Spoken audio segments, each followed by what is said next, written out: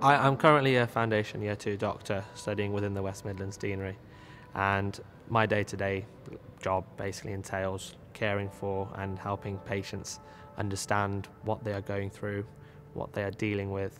um, helping them make decisions, offering them all the options available, and